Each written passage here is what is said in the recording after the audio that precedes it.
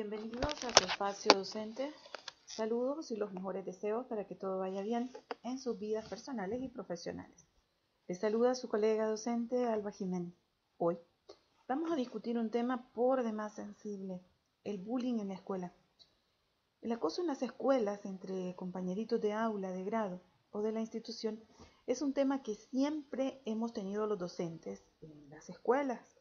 Con la llegada de la informática y de diversos medios de difusión, el tema cobró auge y esas golpizas de las que nadie se enteraba, más que los docentes y los padres, hoy día son videos virales en YouTube.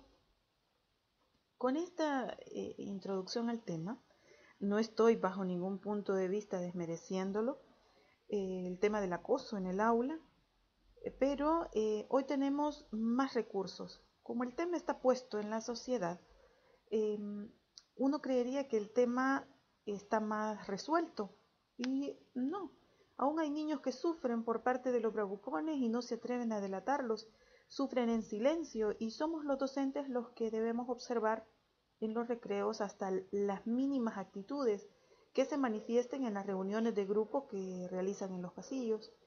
Los profesores debemos constituirnos como agentes para prevenir, atender y erradicar el bullying en la sala de clase, puesto que este fenómeno crea un clima de temor y desconfianza que impacta directamente el aprendizaje de los estudiantes, sobre todo en primaria y en secundaria, que es donde nosotros podemos tener mayores controles, porque em, en otros niveles hay eh, de todas em, es conocido que nosotros no podemos interferir mucho, pero en secundaria y en primaria aún hay muchas cosas que podemos hacer, sobre todo estar muy pendientes.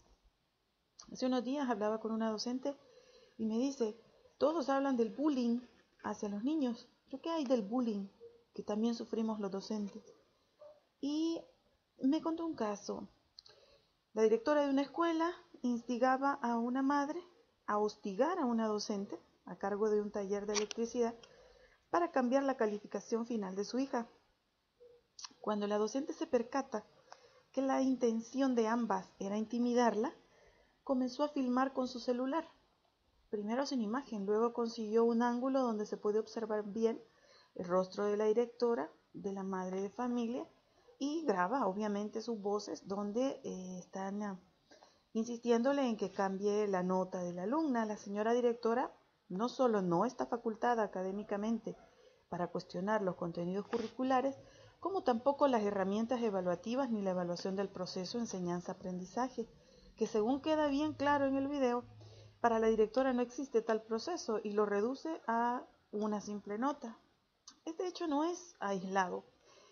Esta docente tomó la iniciativa de filmar, cansada de ser perseguida, controlada por colegas que no están desempeñándose en el tramo directivo, amenazada, tratada con ironía, difamada, hasta estigmatizada por simpatías personales, llegando a forzar una causa legal para evitar el acceso a un cargo directivo. Una escuela puede ser tierra de nadie. En repetidos casos de impunidad y abuso de poder, ese acoso es un bullying. O en las escuelas donde hay pandillas, donde reina la droga, por ejemplo, eh, estas personas se acercan a los padres de familia y son coartados para hacer lo que ellos quieren. Y esto es así. En países donde el tema es sumamente grave, los docentes se ven limitados y deben actuar de acuerdo a directrices que ni siquiera a veces vienen de, la misma escuela, sino que de afuera, de los padres de familia, por temor a que sus vidas corran riesgo o, recibir algún tipo de eh, situaciones que afecten su vida personal o profesional. Nosotros, eh, los adultos, tenemos armas legales de defensa. Incluso podemos renunciar a nuestros empleos. Pero nuestros niños, nuestros alumnos, desconocen estos procesos. Ellos están todavía formando su identidad. Entonces ellos viven con angustia y desesperación el acoso en la escuela. Es decir, se vive de manera totalmente diferente a como lo vivimos los adultos. Los adultos tenemos cómo defendernos, los niños nos tienen a nosotros. Cuando los padres y madres no están, los niños y las niñas muestran en la escuela conductas totalmente diferentes a las que normalmente tienen en su casa. Eso está bien, es su rol social. Lo que no está bien es que esas conductas vayan en perjuicio de otros niños y que atenten contra la seguridad de otros. Es muy penoso que los reclamos de los padres refieran golpes, insultos, malos tratos ocurridos en nuestra clase, en el pasillo que cuidamos o en la escuela donde en teoría estamos nosotros siempre pendientes. Me ha tocado observar maestras que se sorprenden cuando una niña refiere seño en su clase, me hicieron bullying, en su clase me estaban insultando, la maestra no se enteró y solo tiene 15 alumnos. Ese tipo de cosas son las que eh, se vuelven graves para cuando el docente llamado y referido este tipo de problemas.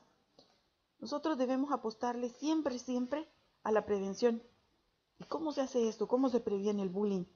Bueno, tenemos que involucrar a toda la comunidad escolar, todo el personal pendiente de estas actitudes, la señora que hace la limpieza, el señor que abre el portón, la señora que cocina, la señora que vende en el eh, kiosquito escolar.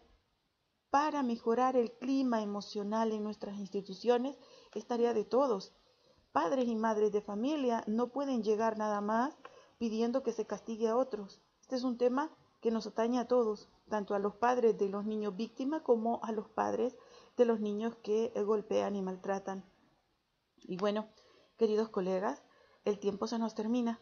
La invitación es para escucharnos en el próximo programa.